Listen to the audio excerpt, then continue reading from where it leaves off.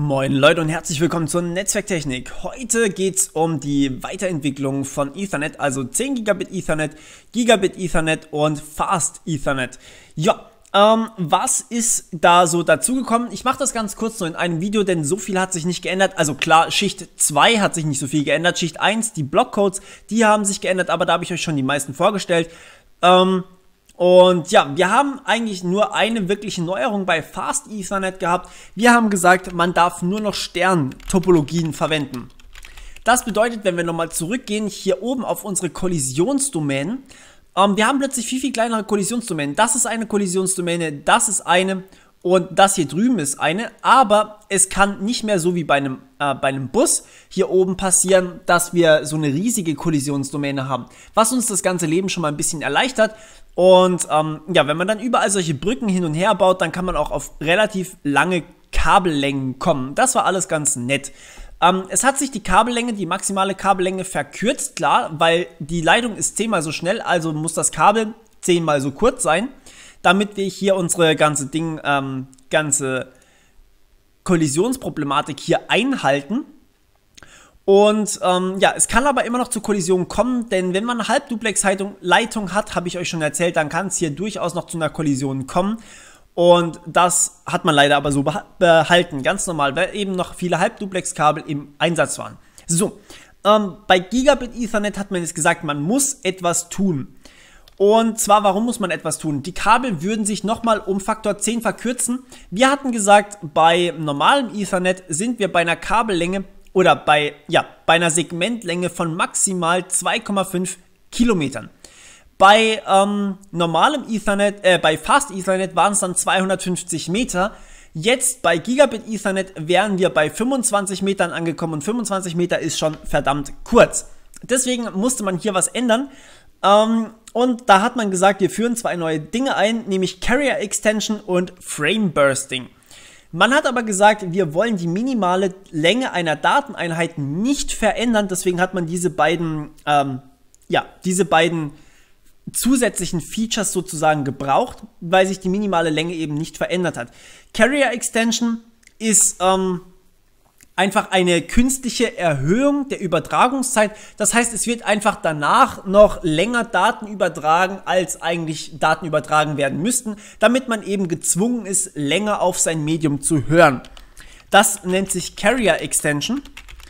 Ähm, ist eigentlich total bescheuert, weil man, wie gesagt, einfach einen Haufen Nonsens-Daten noch mit überträgt, ähm, selbst wenn man nichts mehr zu sagen hat. Aber zum Glück, die meisten Dateneinheiten waren ohnehin schon sehr, sehr lange, sage ich jetzt mal, also länger als Minimum und deswegen hat man diese Carrier Extension nur relativ wenig gebraucht. Ähm, aber manchmal kam es eben doch zum Einsatz, dass man sie gebraucht hat. Man hat aber noch eine zweite Neuerung eingeführt, nämlich Frame Bursting.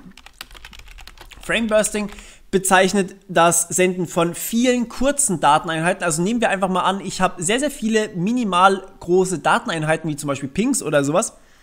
Und ähm, ich möchte einfach nur viele davon auf einmal rauskriegen, dann habe ich die Erlaubnis, ähm, mehrere kurze Dateneinheiten hintereinander direkt zu schicken, so dass ich dann wiederum auf meine minimale Länge komme, also sozusagen die Leitung immer noch genug belege. Ähm, das funktioniert, also quasi im Prinzip genau das, was wir bei Ethernet hier unten besprochen hatten. Wir sagen, wir schicken nicht mehr nur eine Dateneinheit mit minimaler Länge, sondern wir schicken eben 10 Dateneinheiten minimaler Länge und somit muss das Kabel nicht kürzer werden. Ja, ähm, das hat ganz gut funktioniert. Wie gesagt, wenn man eben nicht mehr genug Dateneinheiten übrig hatte, dann musste man Carrier Extension nehmen und ja, war nicht so geil. Deswegen Gigabit Ethernet eigentlich auch nicht wirklich was Besonderes. Wirklich cool wird es bei 10 Gigabit Ethernet und ähm, da haben wir dann auch tatsächlich ähm, Neuerungen gehabt, die sich auch gewaschen haben, sage ich jetzt mal. Man hat ein Verbot für Hubs gehabt. Also, Hubs sind quasi Repeater ähm, mit Sterntopologie. Das heißt, sowas hier auf Schicht 1. Da nur noch Sterntopologie erlaubt war, waren Hubs immer noch in Ordnung. Aber man hat jetzt auch gesagt, keine Schicht 1 Sterne mehr. Das heißt nur noch Schicht 2 und aufwärts Sterne.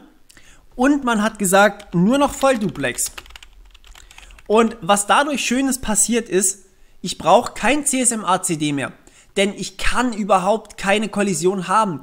Ich habe ja hier nur noch Schicht 2, das heißt, das hier ist auf jeden Fall nur noch Schicht 2 und die Leitung ist voll Duplex, das heißt, ich habe hier absolut keine Möglichkeit auf eine Kollision. Ähm, und das war schon eine große Neuerung, das heißt, CSMA-CD fällt komplett raus. Carrier Extension ist komplett rausgefallen und Frame Bursting ist auch komplett rausgefallen. Und Zeitschlitze sind auch rausgefallen. Das heißt, alles, was ich irgendwie gegen Kollision hatte, ist dadurch rausgefallen, dass ich die beiden Sachen hier vorgeschrieben habe. Und heutzutage, wie gesagt, die Leitungen sind eh alle voll duplex und Hubs sind sowieso kaum mehr verbreitet, wenn dann vielleicht noch ein, zwei Repeater mal, aber ähm, sehr, sehr selten. Oder manchmal schon, klar, ich meine, zu Hause habt ihr öfters mal Repeater stehen, aber so draußen kommen eigentlich keine Repeater mehr vor. Ja, und äh, da sind wir heute angekommen. Das ist quasi der Standard und das ist auch wirklich cool. Ähm, wahrscheinlich, wenn ihr das Video guckt, je nachdem, wann ihr das Video guckt, in wie vielen Jahren, gibt es wahrscheinlich schon 100 Gigabit Ethernet oder sowas. Oder Terabit Ethernet. Wow, wann, wie ich mich darauf freue. Ähm, ja, aber es gibt coole Sachen. Und ähm, mit 10 Gigabit Ethernet hat man es eigentlich schon recht weit gebracht und das ist eigentlich auch ein ziemlich guter Standard, wie ich finde. Ja, ähm, das war's von meiner Seite. Wie gesagt, es ging heute relativ schnell. Wir haben auch nicht so viele Informationen gehabt. Ich wollte euch nur aufs Laufende bringen, was man heute tatsächlich dann geändert hat, damit man auf den Standard von heute kommen konnte. Und das auch erklärt wird, warum wir keine Hubs mehr benutzen, beziehungsweise keine Buses mehr. Gut, das war's von meiner Seite. Wir hören uns beim nächsten Mal. Bis dann. Ciao.